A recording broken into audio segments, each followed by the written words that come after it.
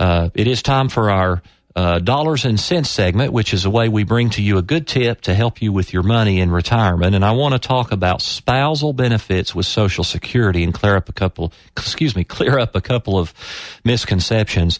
First off, the spouse that earned the lower wages and has a lower earnings base can draw the greater of his or her own benefit or one half the spouse's benefit.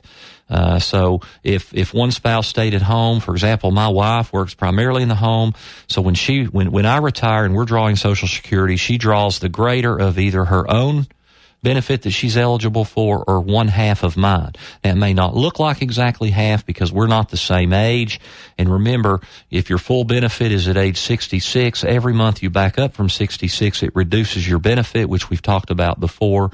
But so it may not look exactly like half, but if you're getting two paychecks where one is significantly off that, like one of them's 1800 a month and the other's like 400 a month, something's wrong there more than likely. And I would go to the Social Security office and, and inquire about that.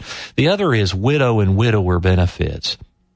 Um, when your spouse passes away, the, the surviving spouse receives the greater of the two benefits. Uh, so you lose one of the benefits. You lose the benefit that is the lower benefit, and then the surviving spouse immediately steps up uh, to that benefit, to that full benefit of the of the deceased spouse if it was a higher benefit. Uh, you can draw widow benefits, widow or widower benefits as early as age 60. You do not have to wait till age 62. But again, that is two hours, or excuse me, two days earlier. So it is going to discount how much you're drawing a little bit more. And then one other thing I want to clarify on spousal benefits is if you're divorced, you still are eligible for up to half of your ex spouse's benefit as long as you were married for at least 10 years. And, uh, uh, that's important distinction. And, and you cannot remarry.